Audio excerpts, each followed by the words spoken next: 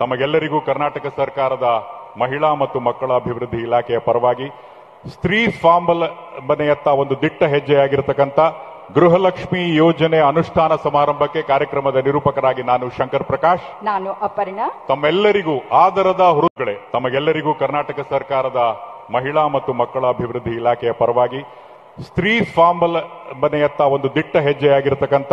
ಗೃಹಲಕ್ಷ್ಮಿ ಯೋಜನೆ ಅನುಷ್ಠಾನ ಸಮಾರಂಭಕ್ಕೆ ಕಾರ್ಯಕ್ರಮದ ನಿರೂಪಕರಾಗಿ ನಾನು ಶಂಕರ್ ಪ್ರಕಾಶ್ ನಾನು ಅಪರ್ಣ ತಮ್ಮೆಲ್ಲರಿಗೂ ಆದರದ ಹುರುಗಳೇ ತಮಗೆಲ್ಲರಿಗೂ ಕರ್ನಾಟಕ ಸರ್ಕಾರದ